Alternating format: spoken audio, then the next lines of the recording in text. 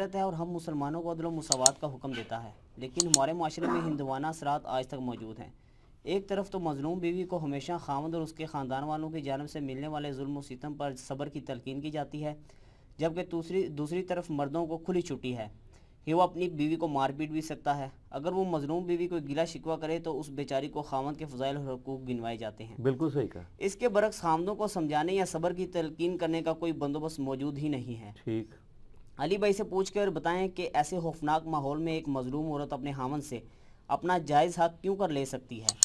مزید یہ کہ ماں باپ کی وفات کے بعد ایسی مظلوم عورت کو اس کے بھائیوں کی جانب سے جائیداد سے بھی محروم کر دیا جاتا ہے۔ کیا مسلمانوں نے ابھی تک اسلام صحیح معنوں میں قبول نہیں کیا؟ پلیز تفصیلی جواب عنایت فرمائیں۔ بالکل جی انہوں نے صرف کلمہ پڑھا ہے۔ وہ مولانا مدودی رحمہ اللہ تعالیٰ کہا کرتے تھے، انڈیا، پاکستان، بنگلہ دیش کے لوگوں نے اسلام قبول نہیں کیا، اسلام نے ان بچاروں کو قبول کر لیا ہوا ہے۔ کہ مسلمان ہیں۔ اگر انہوں نے اسلام قبول کیا ہوتا تو اللہ اور اس کے رسول کو بھی مان رہے ہوتے اور اللہ اور اس کے رسول کی بھی مان رہے ہوتے۔ عز و جل و صلی اللہ علیہ وسلم۔ پھر ان کو پتا ہوتا کہ ہیومن ڈگنیٹی کس چیز کا نام ہے۔ اور میں بالکل وسوخ سے کہتا ہوں کہ ہمارے سب کانٹیننٹ کے معاشرے میں عورت مظلوم ہے۔ بہت مظلوم ہے۔ یہ بالکل ٹھیک انہوں نے کہا کہ عورتوں کو تو فضائل سنائے جاتے ہیں کہ جی جناب خامد کا یہ حق خامد کا یہ حق۔ اور خامد مارتا رہے، اس کو کوئی نہیں سمجھاتا کہ یار تجھے بھی تیری بیوی کے بارے میں پوچھا جائے گا۔ As far as human dignity is concerned مرد و عورت اسلام میں برابر ہے ہیومن ڈگنیٹی میں، انسانیت کی جو عظمت ہے، اس میں مرد و عورت میں کوئی فرق نہیں ہے۔ اور اللہ تعالیٰ نے اس چیز کو قرآن حکیم میں بڑا کیٹاگوریکل مینشن کیا۔ اس مرد و عورت کے فرق کے ساتھ۔ یہ جو آپ کے وہ نکاح کے خطبے میں بھی آیت پڑھی جاتی ہے، سورہ النساء کی پہلی آیت ہے۔ سورہ النساء کتنی بڑی صورت اور ساری عورتوں کے حقوق کے اوپر۔ اعوذ باللہ من الشیطان الرجیم۔ بسم اللہ الرحمن الرحیم۔ یا ایوہ الناس، اے لوگو اتقو ربکم الذی خلقکم من نفس واحدہ۔ اس رب کا تقوی اختیار کرو، اس سے ڈر جاؤ۔ جس نے تمہیں ایک جان سے پیدا کیا تھا۔ وہ خلق منہا زو زوجہا، اور اسی ایک جان سے اس کی بیوی بھی بنائی تھی۔ یعنی حضرت آدم علیہ السلام کی پسلی سے اما ہوا پیدا ہوئی۔ یعنی اوریجن تو ایک ہے۔ وَبَثَ مِنْهُمَا رِجَالًا كَثِيرًا وَنِسَاءً اور پھر اس میاں بیوی سے کثیر تعداد میں مرد و عورت زمین میں پھیلا دیے۔ وَاتَّقُوا اللَّهَ الَّذِي تَسَاءَلُونَ بِهِ وَالْأَرْحَامِ۔ اس اللہ کا تقوی اختیار کرو کہ جس کے واسطے سے تم ایک دوسرے سے سوال کرتے ہو اور رحمی رشتوں کا تقدس اس اللہ کی وجہ سے کرتے ہو۔ الٹیمیٹلی یہ ہوتا ہے نا، جبکہ جھگڑا ہو تو کہتے ہیں، یار، خدا واسطے معاف کرتے تو اللہ فرما رہا ہے، جس اللہ کا نام لے کے اپنے مسئلوں کو الٹیمیٹلی سوالو کرواتے ہو نا، اس سے ڈرو بھی۔ ان اللہ کا نا علیکم رقیبہ بے شک اللہ تعالیٰ تمہیں دیکھ رہا ہے جو کچھ تم عمال کر رہے ہو۔ تو ہیومن ڈگنیٹی میں سب برابر ہے پھر سورہ الحجرات میں بھی آیا نا کہ اللہ تعالیٰ نے تمہیں قبیلوں میں، خاندانوں میں اس لیے بانٹا ہے تاکہ تمہاری پہچان ہو۔ ان اکرمکم عند اللہ اتقاکم اللہ کے نزدیک وہی عزت والا ہے جو تقوی والا ہے۔ پھر یہ نہیں دیکھا جائے گا ابھی سیدہ فاطمہ جو ہے وہ جنتی عورتوں کی سردار کیوں ہے؟ کسی مرد کو کیوں نہیں بنایا گیا؟ سر انہوں نے پرفارم کیا۔ اور ابو لہب حضور کا سگا چچا ہے۔ دو میں جائے گا پرفارم نہیں کیا۔ پرفارم کرے گا تو اس کو بینیفٹ ملے گا۔ تو ہیومن ڈگنیٹی میں یہ چیز یاد رکھیے گا۔ اور آپ علیہ السلام کا آخری خطبہ جو اکثر ہم ٹی وی چینلز پہ بھی دیکھتے ہیں، مسند احمد میں صحیح صنعت سے حدیث ہے، آپ علیہ السلام نے حجت الوداع کے موقع پہ فرمایا تھا لوگوں اللہ تعالیٰ نے سیدنا آدم علیہ السلام کو مٹی سے پیدا کیا تھا، تم سب اسی آدم کی اولاد ہو۔ اور آدم مٹی سے پیدا ہوئے تھے، کسی گورے کو کالے پر، کسی کالے کو گورے پر، کسی سرخ کو سیاہ پر، کسی سیاہ کو سرخ پر۔ کوئی کسی عربی کو اجمی پر، کسی اجمی کو عربی پہ کوئی فضیلت نہیں ہے، مگر تقوی کی بنیاد کے اوپر۔ کوئی یعنی ہیومن ڈگنیٹی میں کوئی فرق نہیں ہے۔ برابر ہے۔ البتہ جب مرد و عورت مل کے ایک خاندان کو وجود دیں گے، پھر خاندان ایک ادارہ ہے۔ ادارے میں ظاہر ہے کہ ایک ادارے کے دو ہیڈ نہیں ہو سکتے۔ وہ ایک ہی ہوگا۔ پھر اس میں سورہ نساء میں ہے، الرجال قوامون علی النساء۔ مرد عورتوں پہ حاکم بنائے گئے۔ حاکم کا یہ مطلب نہیں ہے کہ پینٹی لگائیں۔ مراد یہ ہے کہ پھر الٹیمیٹلی جب ٹائی پڑے گی تو مرد کی بات مانی جائے گی۔ باقی وہ جو غلط کام کرے گا وہ اللہ کے حضور جواب بھی دے گا۔ ظاہر پھر اس طرح معاشرے کا نظام نہیں چل سکتا نا جب دو ہوں۔ کسی بھی آرگنائزیشن کا بھی ایک ہی ہیڈ ہو سکتا ہے۔ نیچے آپ جتنے مرضی لگا لیں، اوپر تو ایک ہی ہوگا نا۔ یہ نظام چل نہیں سکتا۔ تو اس کی وجہ سے شاید بعض مردوں کے دماغ کے اندر یہ خمار آ گیا کہ جی وہ عورتوں کی پھینٹی لگانا شروع کر دیں گے۔ سورہ نصاب میں یہ آتا ہے کہ اگر تمہیں اپنی عورتوں کی کچھ باتیں ناپسند ہیں، تو ان میں کئی پسندیدہ عورتیں بھی تو ہوں گی۔ یعنی اتنی سختی کے ساتھ اسلام میں اس چیز کی ترغیب دلائے گی کہ آپ نے عورتوں کی رسپیکٹ کرنی ہے۔ اور دیکھیں اللہ نے کیسا بندوبست کیا ہے۔ عورت جب چھوٹی ہوتی ہے تو باپ کی شفقت میں، جوان ہوتی ہے تو خامند کی محبت میں، اور بڑھاپے کو پہنچتی ہے تو اولاد نے اس کی رسپیکٹ کرنی ہے۔ بخاری میں حدیث ہے، نبی الاسلام سے ایک شخص نے آ کے پوچھا، مجھ پہ سب سے زیادہ حق میرا کس کا ہے؟ حسن سلوک کے اعتبار سے سب سے زیادہ میرا حقدار کون حق رکھتا ہے مجھ پہ؟ مخلوقات میں سے۔ تو نبی الاسلام نے فرمایا، تیری ماں۔ اس نے پھر پوچھا، فرمایا، تیری ماں۔ پھر پوچھا، فرمایا، تیری ماں۔ چوتھی دفعہ فرمایا تیرا باپ۔ باپ کا چوتھا نمبر ہے۔ پہلے تین کے تین نمبر ماں کے ہیں۔ اب یہاں پہ عورتیں اوپر ہیں۔ حتیٰ کہ سن نسائی میں حدیث ہے، جنت تیری ماں کے قدموں کے پاس ہے۔ یعنی یہ فزیکلی پاس نہیں، مراد یہ کہ ماں کی خدمت کر کے تم جنت کما سکتے ہو۔ لیکن یہاں پہ چونکہ ایک ایشو عورت کے اعتبار سے ڈسکس ہو رہا ہے کہ اس کے خامن نے اس کو رسپیکٹ دینی ہے۔ تو اس میں ظاہر ہے کہ جب دین کی تعلیم نہیں ہوگی تو عورتوں کا استحصال اسی طریقے سے ہوگا۔ اور پھر یہ جو آپ آج کل این جی اوز کے اوپر غصہ کھاتے ہیں کہ وہ ہماری عورتوں کو دلیر کر رہے ہیں مردوں کے اوپر، تو سر مردوں نے کون سے عورتوں کو بیسک ہیومن رائٹس دیے ہیں کہ ان کی عورتیں ان پہ دلیر نہ ہوں؟ آپ خود ایڈ فیول ٹو فائر کر رہے ہیں۔ آپ کیوں نہیں عورتوں کو حقوق دے رہے؟ کیوں جدادیں ان کی دباتے ہیں؟ وہ کہتے ہیں کہ بہن نے معاف کر دیا نہ! بہنوں سے بھی پوچھیں، وہ کہتے ہیں یا تو ہم بھائی رکھ لیں یا جداد رکھ لیں۔ کسی حد تک ٹھیک ہے۔ آج اگر کوئی شخص اپنی بیوی کو چھوڑتا ہے، وہ عورت کہاں جائے گی؟ میں کہ، اگر ماں باپ فوت ہو گئے تو بھائیوں کے پاس جائے گی نا۔ تو عورت پوری زندگی انسیکیور گزارتی ہے کہ کسی بھی خامد کا دماغ پھرتے کو ٹائم لگتا ہے۔ پھر پاکستانی خامد تو اس نے پیچھے بھی اپنا رکھا ہوتا ہے کہ اس نے مجھے چھوڑ دیا تو میں کہاں جاؤں گی؟ تو وہ پھر اگر اس کو سیکیورٹی ہو کہ وہ پیچھے بھی میرے بھائی مسلمان ہیں، اگر میں نے جداد لی اپنا حق، تو وہ یعنی میرے لیے فرون نہیں بنیں گے، اور کہیں گے اس کا حق تھا۔ تو وہ بے فکر ہو کے لے گی حق۔ اور یہ جو کہتے ہیں نا، معاف کر دیا میں ان کو کہتا ہوں، پہلے جداد کی تقسیم کریں۔ ان کے ہاتھ میں ان کا حصہ دیں، پھر میں دیکھتا ہوں کون سی بہن معاف کرتی ہے۔ اس بہن کی اولاد ہی کہے گی کہ، اما جی کیوں ہویا جائے؟ آ کے رکھو؟ تھی نہیں رکھنا، سانو دیو، پرانو کیوں دے رہی ہو؟ وہ ویسے ہی وہ معاف نہیں ہوتا۔ وہ جسے کہتے ہیں نا کہ انگور کھٹے ہیں۔ عورتیں بچاری اپنی عزت بچا رہی ہوتی ہیں کہ ٹھیک ہے نہیں اگر مانگ لیا تو بھائی پوری زندگی کے لیے ناراض ہو جائیں گے۔ جان ہی چھڑا لو۔ اور حالانکہ یہ وراثت کے قوانین وہ ہیں جو اللہ نے حدیثوں میں نہیں چھوڑے، قرآن میں ہے سورہ نساء کا دوسرا سورہ نساء بھی پڑھ لو سر۔ اے مردوں میں ریکویسٹ کروں گا، عورتوں کے لیے بھی ہے، مرد بھی پڑھیں۔ شروع میں اللہ نے وراثت کے قوانین بیان کیے ہیں۔ عورتوں کا حق رکھا ہے۔ اور کہا یہ اللہ کی حدیں آپ نے اس کو پھلانگنا نہیں ہے۔ لیکن نہیں دیتے۔ کوئی حصہ نہیں ملتا۔ اور بعض ایسے بیوقوف ہیں، وہ کہتے ہیں نہیں، ہم نے جیز دے دیا تھا نا تو وہ وراثت ہوگی۔ وہ وراثت نہیں ہے، وہ ہبا ہے۔ وراثت تو الگ چیز ہے، وہ تو مرنے کے بعد تقسیم ہوگی۔ اسلام میں میاں بیوی وہ بنیادی اکائی ہیں جو مل کے خاندان کی تکمیل کرتے ہیں۔ اسی لیے آپ دیکھیں سورہ البقرہ میں، سورہ نساء میں، سورہ المائدہ میں میاں بیوی کو ڈسکس کیا گیا۔ ان کے حقوق کی بات ہوئی ہے۔ ڈیٹیل چیزیں ڈسکس ہوئی ہیں۔ طلاق کے، نکاح کے مسائل۔ کیوں؟ بیسک جو یونٹ ہے نا اسلام میں، وہ میاں بیوی ہے ماں باپ نہیں ہے بہن بھائی نہیں ہے کیونکہ اسی سے معاشرہ آگے چلے گا۔ حتیٰ کہ مسلم شریف میں ایک حدیث ہے۔ نبی الاسلام فرمایا کہ شیطان کا تخت پانیوں پہ لگا ہوا ہے۔ شام کے وقت سارے اس کے جو چیلے ہیں نا، وہ آ کے اس کو خبر دیتے ہیں، آج ہم نے فلاں شخص سے فلاں گناہ کرایا، فلاں سے فلاں فلاں سے فلاں۔ ایک، وہ اتنا امپریس نہیں ہوتا۔ ایک آ کے کہتا ہے، آج میں نے میاں بیوی میں جدائی کروا دی۔ اس کو وہ جفی ڈال کے ملتا ہے کہ تو نے اصل کام کیا ہاں۔ شیطان کو بھی یہ بات پتا ہے کہ میاں بیوی الگ ہو گئے تو اولاد تو گئی۔ یہاں تو خامن سمجھتا ہے، میں بیوی کو طلاق دے دوں گا تو اس کی میں نے مستقبل بگاڑ دیا اور سر اس کے تو چانس ہے مستقبل بن جائے، تیرا بھی کچھ نہیں پلے رہنا۔ اگلے رشتے کے لیے جو گائیں گے، وہ کہیں گے، پہلی کیوں گئی سیا یہ کسی خاون کے دماغ میں فطور ہے نا، وہ نکال دے کہ وہ عورت کو ذلیل کر دے گا۔ ذلیل وہ خود بھی ہوتا ہے۔ اور عموماً میں نے دیکھا کئی عورتیں جن کو اللہ تعالیٰ ان سے اچھے خامن دے دیتا ہے۔ ان کی جناب وہ کہتے کبے لت پہ کب بھی نکل گیا۔ ان کے ساتھ تو بڑی نیکی ہو جاتی ہے۔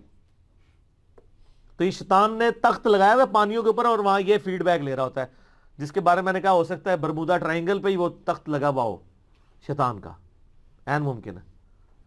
تو نبی اسلام نے میاں بیوی کے تعلق کے اعتبار سے بہت اسٹرکٹلی بخاری مسلم ایک حدیث آپ علیہ السلام فرمایا عورت جو ہے نا وہ مرد کی ٹیڑھی پسلی سے پیدا ہوئی ہوئی ہے، اس کو سیدھا کرنے کی کوشش نہ کرو، اس سے نفع اٹھاؤ۔ کمپرومائز کرو۔ اگر سیدھا کرو گے تو توڑ بیٹھو گے اور اس کو توڑنا اصل میں اس کو طلاق دینا ہے۔ کہیں توڑنا بیٹھنا۔ صحیح مسلم میں حدیث ہے، نبی اسلام فرمایا، کسی مرد کے لیے جائز نہیں ہے کہ وہ اپنی بیوی سے بغض رکھے۔ اللہ سے ڈرو۔ یہاں بغض رکھ لیتے ہیں نا۔ اگر تم اس میں الفاظ ہیں، اگر تمہیں اس کی کچھ عادتیں ناپسند ہیں تو دیکھو، اس میں کئی خوبیاں بھی تو موجود ہوں گی۔ ان کو یاد کر لو۔ جہاں پہ وہ کہتے ہیں نہیں پھر بخاری مسلم حدیث ہے، آپ میں کیسے ہو مرد تم لوگ کہ صبح کے وقت اپنی بیوی کو مارتے ہو اور پھر رات کو اسی بیوی کو اپنے پاس بلاتے ہو اس دواجی تعلق کے لیے؟ کتنی ٹیکنیکل بات کی ہے۔ تو وہ آ بھی جائے گی تو کس موڈ کے ساتھ آ رہی ہوگی؟ تو آپ علیہ السلام نے یعنی یہ جو عورتوں کی پٹائی کا جن لوگوں کو شوق ہوا، ہے نا؟ تو میں تو کہتا ہوں جو مرد بھی ادھر ادھر منہ مارتے ہیں نا، ان کی عورتوں کو بھی چاہیے کبھی کبھار تھوڑا سا کر دیے کریں پٹائی ان کی۔ لیکن چہرے پہ نہ مارا کریں۔ یہ نبی السلام نے منع کیا ہے۔ بخاری مسلم میں حدیث ہے کہ آپ نے چہرے پہ نہیں مارنا۔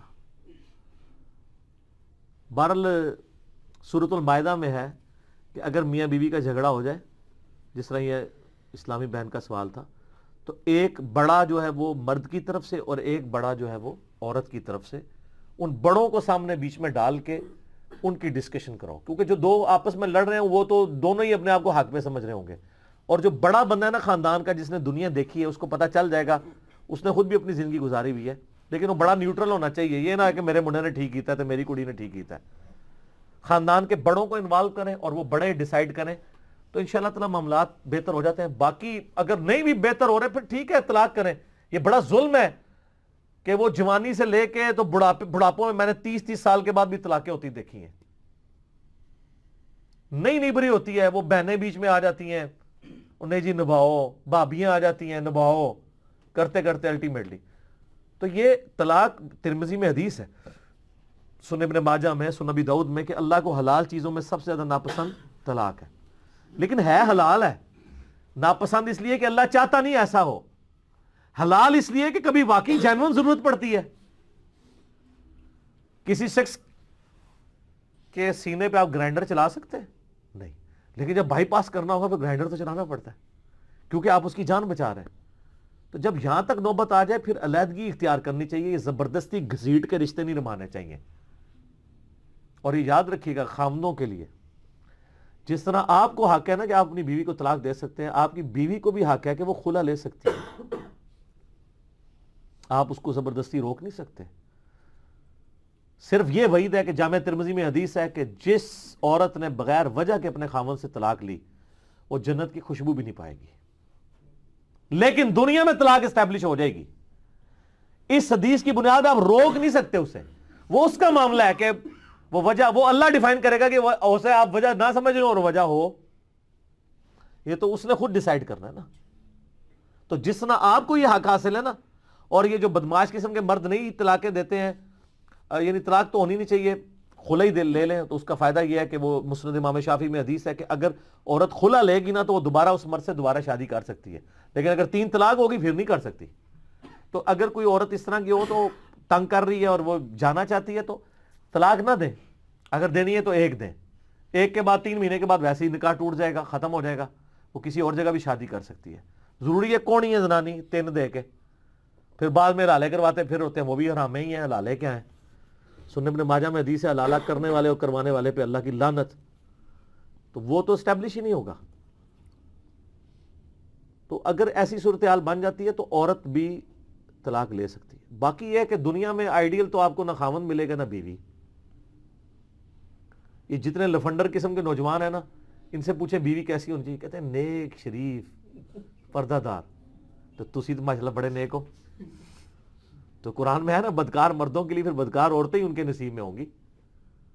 اور نیکوکار مردوں کے لیے نیکوکار عورتیں۔ کبھی حادثہ بھی ہو سکتا ہے، لیکن اوور آل ایسے ہی ہوتا ہے۔ میں نے تو ابھی تک یہ دیکھا ہے کہ جوڑے باقی آسمانوں پہ بنے ہوتے ہیں۔ کوئی نہ کوئی ایسی چیز ہوتی ہے کہ وہ جوڑیاں چل رہی ہوتی ہیں۔ دو انج ایسی پیڑیاں آتا ہوں نا، وہ بس ایک دوسرے میں ہی چل سکتے رہے اس طرح بھی لوگ دیکھیں۔ بندہ کہتا ہے، یار، بڑی بری عورت ہے، یہ کیسے گزارا کر رہا ہوگا اس کا خامن تو خامن ماشاء اللہ اس نے برا ہوئے گا۔ نہیں، یار، صحیح جوڑی پڑی ہوئی ہے۔ ٹھیک ہے نا؟ تو یہ اللہ تعالیٰ نے معاملات کیے ہوئے ہوتے ہیں۔ باقی اس کے لیے پریکٹیکلی نبی الاسلام کی مبارک زندگی ہمارے لیے رول ماڈل ہے۔ آپ علیہ السلام کی کیا شفقتیں ہیں اپنی بیویوں پہ؟ بخاری مسلم حدیث سے عائشہ کہتی ہیں کہ ایک دفعہ مسجد نبی میں حبشیوں کی وہ نیزے والی یعنی وہ چل رہی تھی روٹین پریکٹس کر رہے تھے وہ، تو میں نے حضور سے خواہش کی کہ میں نے دیکھنا ہے۔ تو آپ علیہ السلام کھڑے ہو گئے تو میں آپ کے پیچھے چھپ کے پردے میں سے وہ دیکھنا شروع کیا اور آپ نے فرمایا کہ تم دیکھ، یہ سوچ سکتے ہو کہ ایک جوان لڑکی کتنی دیر کھڑے ہو کے یہ تماشا دیکھ سکتی ہے یعنی شوق کی وجہ سے۔ اور نبی علیہ السلام اتنی دیر کھڑے رہے۔ یہاں تک کہ میں نے کہا کہ بس، تو آپ علیہ السلام ہٹے پھر سن نبی دعود میں حدیث ہے، نبی علیہ السلام سے عائشہ کہتی ہے میں نے ایک دن کہا، یا رسول اللہ، میں نے آپ کے ساتھ دوڑ لگانی ہے۔ دوڑ لگائی۔ تو کہتی ہیں کہ میں آگے نکل گئی نبی علیہ السلام پیچھے۔ پھر کئی سال گزرے تو نبی علیہ السلام نے کہ عائشہ، ایک دفعہ پھر دوڑ لگائیں دوبارہ۔ اب نبی علیہ السلام نے کہا۔ تو وہ کہتی ہیں، پھر اس دفعہ نبی علیہ السلام آگے نکل گئے اور میں پیچھے رہ گئی۔ وہ پہلے بھی حضور کی شفقت ہی تھی۔ ٹھیک ہے۔ تو آپ علیہ السلام اس لیول کے ساتھ بھی یعنی آپ بخاری سی اٹھا کے دیکھیں، صحابہ کرام جب وہ مہات سے پوچھتے ہیں کہ نبی علیہ السلام گھر آتے تو کیا کرتے تھے؟ تو کہتے ہیں گھر کے کام کاج، جو آپ کے لیے گستاخی ہے۔ کیونکہ وہ ساس سسر کرنے نہیں دیں گے، وہ کہیں گے رن مرید ہو گیا۔ سر، کئی ایک معاملات جڑے ہوئے نا۔ اور الٹا وہ یہ کہیں گے، اسی لوگ بھی تے کر دیا سن، اسی تے اپنے خامدہ جناب، ہلن نہیں دیتا کدے۔ تائیں تے تو بڑھے ویلے بھی گالاں کٹ دینے نا۔ ہلن جو نہیں دیتا تسی تو ہوں بھگتو نا ہلے ہوندے تو ایک دوسرے کا ریگارڈ تو کر رہے ہوتے نا سر آپ نے کسی کے لیے کچھ کیا ہو تو وہ پھر بڑھاپے میں بھی پھر وہ خامد آپ کے لیے جو ہے نا وہ صحیح ثابت ہوگا نا کہ تھوڑا سا وہ اس روٹین سے بھی گزرا ہو جیسے بچے بگڑ جاتے ہیں خامن بھی بگڑ جاتے ہیں بالکل کھلی چھٹی بھی نہیں دینی چاہیے عورتیں جو بالکل کمپرومائز کر کے گھٹ گھٹ کے زندگی گزارتی ہیں ان کو یعنی خامنوں کو وقتاً فقتاً تلقین کرنی چاہیے۔ اور خامن بھی جو آئے دن اپنے حقوق گنواتے رہتے ہیں، وہ یہ بھی دیکھیں کہ بھی نبی الاسلام نے ہمارے لیے کیا فرمایا۔ صحیح مسلم حدیث ہے، میں اپنی وفات کے بعد سب سے بڑی ازمائش تمہاری بیویاں تمہارے لیے چھوڑ کے جا رہا ہوں۔ یعنی ان کا خیال رکھنا ہے۔ صحیح بخاری میں حدیث ہے، نبی الاسلام ایک قافلے میں جب آپ جایا کرتے تھے تو جن اونٹوں کے اوپر عورتیں بیٹھی ہوتی تھی نا، تو آپ علیہ السلام اونٹ ہانگنے والے کو کہتے تھے، آہستہ ہانکو۔ شیشیاں ہیں کہیں ٹوٹ نہ جائیں۔ ہائے ہائے ہائے ہائے۔ جسے صنف نازو کہتے ہیں، نبی الاسلام عورتوں کا اتنا ریگارڈ کرتے تھے، اتنی عزت دیا کرتے تھے۔ تو بیویوں کو عزت دینا کوئی یعنی ان کے نیچے لگنا نہیں ہے۔ نبی علیہ السلام نے جامع ترمیزی میں حدیث آپ علیہ السلام فرمایا کہ اگر تم اپنے بیوی پہ غصہ ہے تو اس کو مت مارو۔ بس زیادہ سے زیادہ اس کے بسترے سے، اپنے بسترے سے اسے الگ کر دیا کرو کچھ دنوں کے لیے۔ اور خود آپ علیہ السلام نے بھی کیا ہے، بخاری مسلم میں آتا ہے۔ ایک مہینے تک آپ اپنی بیویوں سے ناراض رہے واقعہ ایلا جس کے کانٹیکس میں صورت العذاب کی آیات نازل ہوئی کہ بھئی اگر ہمارے نبی کے ساتھ گزارا کرنا ہے تو فقر کے ساتھ۔ ادروائز اے نبی ان سے کہو کہ میں تمہیں دنیا کا مال دے کے چھوڑتا ہوں۔ پھر امہات نے کہا نہیں ہم اللہ اس کے رسول اور آخرت کو قبول کرتی ہیں ہم اسی طریقے سے آپ علیہ السلام کے ساتھ گزارا کریں گے۔ تو اگر نبی کی بیویوں سے نبی علیہ السلام کو تکلیف پہنچی ہے تو آپ لوگوں کی بیویوں سے اگر آپ کو کبھی تکلیف پہنچے تو اس میں غصہ کھانے کی، طلاق دینے کی، ان چیزوں کی کوشش نہیں کرنی چاہیے۔ صبر و شکر کے ساتھ زندگی گزاریں لیکن ہمارے کرائٹیریا اور ہے نا۔ صحیح مسلم میں حدیث ہے، عورت سے چار وجہ سے شادی کی جاتی ہے۔ اس کی خوبصورتی کی وجہ سے، اس کے حسب نصب کی وجہ سے، اس کے مال کی وجہ سے اور اس کے دینداری کی وجہ سے۔ آپ فرمایا، اللہ کے بندو دینداری کو دیکھا کرو۔ دینداری آ گئی تو باقی ساری چیزیں تو آنی جانی چیزیں ہیں، وہ آ ہی جائیں گی۔ تو جو کرائٹیریا ہم نے یعنی رکھا ہوا ہوتا ہے نا میں نے تو دیکھا ہے جس میں دنیا میں جس نے جو خواہش کی ہوتی ہے نا، اسی قسم کی چیزیں اس کے سامنے آ جاتی ہیں۔ اور اگر کسی نے واقعی دینداری مانگی ہوئی ہے تو اس کو دینداری مل جائے گی۔ یہ آپ کو جوڑے جتنے نظر آ رہے ہوتے ہیں نا، وہ اللہ نہیں بنائے ہوتے ہیں۔ لوہے کو لوہے کاٹ رہا ہوتا ہے، میں نے دیکھا ہے۔ لیکن یہ یاد رکھیے کہ آپ کو زندگی گزارنے کے ایک تھم رولز بتا دیتے ہیں، ان میں سے ایک یہ ہے جب بیوی کو غصہ آیا ہو تو آپ بھیگی بلی بن جائیں۔ اور جب آپ کو غصہ آ جائے تو آپ کی بیوی کو چاہیے بھیگی بلی بن جائے۔ اور اگر بھیک بک دونوں کو غصہ آئے گا پھر تو پھر معاملے بگڑیں گے۔ اور یہ خاموشی اختیار کرنا بہت بڑا مرہم ہے۔ اور اللہ تعالیٰ نے عورتوں میں تو ایسا سیفٹی والو رکھا ہے کہ میں نے دیکھا یہ مرد زیادہ کھوری ہوتے ہیں، عورتیں تو بیچاری تھوڑی دیر بعد سب کچھ بھول بھال جاتی ہیں۔ اور مردوں نے بڑی پرانی پرانی باتیں یاد رکھی ہوتی ہیں۔ آپ ذرا دیکھیں نا عورتیں کس تکلیف سے گزر رہی ہوتی ہیں۔ پورا دن ان کا کام ہوتا ہے، پھر بچوں کو دیکھنا اور پھر خامن صاحب بھی پھر پتہ نہیں کیا کچھ ایکسپیکٹ کر رہے ہوتے ہیں۔ کیا فرق پڑتا ہے اگر کوئی اپنے کپڑے استری کر لیتا ہے؟ بچوں کے کپڑے استری کر دیتا ہے، اپنی جوتیاں پالش کر لیتا ہے اسے کو فرق پڑتا ہے؟ اپنے کھانے والی پلیٹ خود دھو لیتا ہے اسے کو فرق پڑتا ہے؟ وہ نیچے لگ جائے گا۔ تو اسلام نے جو معذرت کے ساتھ عورتوں کو حقوق دیے تھے، وہ واقعی نہیں ملے۔ تو ہماری تو گردن شرم سے جھک جاتی ہے جب اس طرح کے ہمیں سوالات آتے ہیں نا۔ ہم کہتے ہیں، یار واقعی عورتیں اوور آل اسلام آنے کے باوجود اس معاشرے میں مظلوم ہیں۔ حقیقت بات ہے۔ اوور آل آپ دیکھیں، کوئی اکا دکا آپ کو کیس مل جائیں گے، کسی عورت نے خامند کو پکا کے کھا لیا ہے کوکر میں۔ وہ سر وہ آئے دن کبھی کسی خامند کے منہ پہ بھی تذاب پھینکا ہے کسی نے؟ یہ آئے دن تذاب کے واقعات عورتوں کے لیے آتے ہیں نا۔ کبھی کسی خامد کے اوپر بھی چولہا پھٹا ہے، عورتوں کے لیے پھٹ رہے ہوتے ہیں نا۔ زیادہ تر عورتیں مظلوم ہیں اس معاشرے کے اندر۔ سٹل لیکن میں ایک کریڈٹ دوں گا دنیاوی تعلیم کو، کہ جو دنیاوی طور پہ پڑھ لکھے لوگ ہیں نا، ان کا ایٹیچیوڈ اپنی بیویوں کے ساتھ بنسبت ان پڑھ جاہل گنوار قسم کے لوگوں کی نسبت ایون وہ دیندار بھی کیوں نہ ہو، بہتر ہے۔ کئی لوگ باہر دیکھیں ان کی خوش اخلاقی مشہور ہے اور اندر کتے سے زیادہ ان کا برا حال ہوتا ہے۔ کتا تو پھر بھی تھوڑی دیر خاموش ہو جاتا ہے، لیکن وہ اپنے اور سر یاد رکھیے گا، جامعہ ترمیزی میں حدیث ہے، تم میں سب سے بہتر وہ ہے جو اپنے گھر والوں کے لیے بی بچوں کے لیے بہتر ہو۔ باہر کی خوش اخلاقی کو چاٹنا ہے۔ اگر آپ کے بی بچے آپ کے شر سے ڈرتے ہیں کہ آپ گھر میں انٹر ہو تو سانپ سونگ جائے ان کو۔ تو آپ تو سمجھتے ہیں یہ روب ہے، اس کا الٹیمیٹ رزلٹ یہ ہونا ہے کہ جب بچے جوان ہونے ہیں عورت مضبوط ہو جائے گی اور خامن جو ہے وہ کمزور ہو جائے گا۔ ہمیشہ تو یہ روب قائم نہیں رہنا۔ روب اپنے اخلاقیات کی وجہ سے ہوتا ہے۔ فرینکنس ہونی چاہیے اولاد میں اور ماں باپ کے اندر۔ روب نہیں ہونا چاہیے کہ وہ آپ سے کوئی چیز ڈسکس بھی نہ کریں۔ میں نے تو اللہ کے فضل سے جس حد تک کوشش کرتا ہوں، کوئی نقصان ہوتا ہے۔ میرے بچے فوراً مجھے جس طرح ہم لوگ بچپن میں اپنے ماں باپ سے ہوئے ہوئے نقصانات چھپایا کرتے تھے ہمارے بچے، نقصان ہوتا ہے جیسے میں گھر میں انٹر ہوتا ہوں، وہ بابا وہ وہ گھڑی کا شیشہ ٹوٹ گیا۔ خود بتا دیتے ہیں۔ کیوں؟ ان کو پتہ مارنا کوئی نہیں ہے۔ تھوڑا سا ڈانٹنا ہے اور اس کے بعد آندہ احتیاط کرنی ہے۔ کیونکہ شیشہ آپ کے مارنے سے واپس کوئی نہیں آنا۔ ہمارے اسلام آباد میں ایک واقعہ ہوا۔ ایک بندے نے نئی گاڑی نکلوائی۔ یہ بالکل اوریجنل گاڑی نہیں نکلوائی تو اس کے چھوٹے سے بچے نے نا، بچہ بچہ ہوتا ہے۔ آٹھ دس سال کا بچہ تھا، اس نے نا اس کے اوپر ایک چابی پھیر دی یوں کر کے نا۔ تو وہ اس پہ نشان لگ گیا۔ نشان لگ گیا تو چابی نے کیا نشان لگایا؟ وہ ڈینٹنگ پینٹنگ والے کے پاس جائیں گے، کیا ہوگا؟ گاڑی ایکسیڈنٹ میں بھی ضائع ہو سکتی ہے۔ ویسے بھی نامعلوم پتھر بھی آ کے لگ سکتا ہے۔ کچھ بھی ہو سکتا ہے۔ ایکسیڈنٹ بھی ہو سکتا ہے۔ اس کو اتنا غصہ ہے کہ ابھی تو لا کے رکھی ہے میں نے۔ اس نے غصے سے اپنے بچے کو دھکا دیا۔ دھکا دیا تو وہ بچہ شولڈر کے بال گرا جا کے سیڑھی پہ اس کا شولڈر لگا، اس کو انٹرنل ایسا زخم ہوا، اس میں پیپ پڑ گئی، الٹیمیٹلی اس کا بازو یہاں سے کٹ گیا۔ تو چٹ لے اپنی گڈی نو پوری زندگی بہ کے۔ تو ایک لاکھ گڈیاں دے کے بھی او بازو نہیں دوبارہ لے کے آ سکتا۔ اب وہ پوری زندگی اپنے اس بچے کا سامنا کر سکتا ہے۔ تو بچہ کہتا تھا کہ بابا، آپ کی گاڑی تو واپس آ جائے گی، میرا بازو کون دے گا مجھے؟ سر اچھا یہ ایٹی ٹوینٹی ایک رول بھی ہے۔ آپ کو پتا ہے گوروں نے بنایا کہ ایٹی پرسنٹ مصیبتیں آپ خود لے کے آتے ہیں۔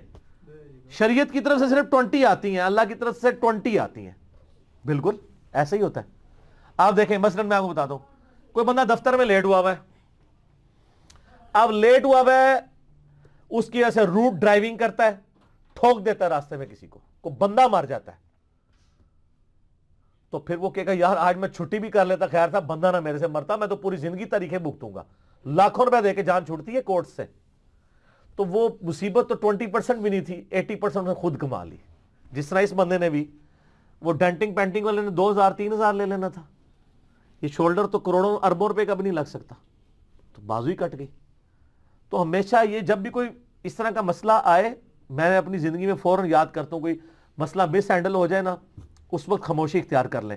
کیونکہ اس کے بعد جو مس ہینڈلنگ ہونی ہے نا، وہ ایٹی پرسنٹ ہونی ہے۔ اور آپ نے کہنا ہے، کاش یار یہ میں بعد والا کام نہ کرتا، پہلے کی تو ریمیڈی ہو ہی جانی تھی، اب میں کیا کر بیٹھا ہوں؟ افراتفری مچا دیتے ہیں لوگ۔ وہ کیا ہو گیا؟ اس کے لیے آپ کو چیزیں کیلکولیٹ کرنی ہوں گی کہ اچھا یہ ہو گیا، اس کا اب کچھ ہو سکتا ہے، یہ ہو سکتا ہے۔ تسلی سے بیٹھ کے سوچے تو آپ کو چلے گا، یار، اتنا بڑا بھی نہیں، کوئی بگاڑ آیا۔ اس کو ہینڈل کیا جا سکتا ہے۔ لیکن اس کے اگینسٹ جو آپ واویلا ڈال دیتے ہیں، جو مصیبت کھڑی کر دیتے ہیں، وہ پھر ایک مصیبتوں کی ایک چین شروع ہو جاتی ہے اور وہ ریورس نہیں ہوتی۔ میں اس پہ گھنٹوں بول سکتا ہوں، لیکن میں نے یہ چند ایک باتیں سامنے رکھی ہیں اور میں مردوں سے ریکویسٹ کروں گا کہ مرد بننا یہ نہیں ہے کہ عورتوں کو مارو۔ آدم کے بچے بنو، آدمیت لے کے آؤ اپنے اندر، انسانیت لے کر آؤ۔ بیویوں کا کی عزت کرو۔